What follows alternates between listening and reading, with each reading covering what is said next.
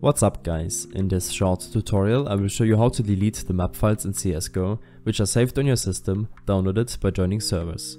The game files can take up a lot of storage, in my case it's over 20GB, but in some cases it can even increase, if you are browsing community servers a lot.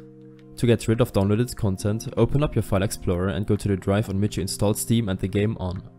Next, if you haven't changed anything here, go to your program files, Steam apps, common, Counter-Strike Global Offensive, CSGO and lastly maps. You can safely delete everything in this folder, but some official maps will have to be re-downloaded in order for you to play again. If you did anything wrong or deleted the wrong files, then open up your Steam library, right click CSGO and go to Properties. Here, on the General tab, verify the integrity of your game files to revert any unwanted changes. This will take a minute to complete. I hope this helped you out, leave a comment if you have any questions and see you in the next one.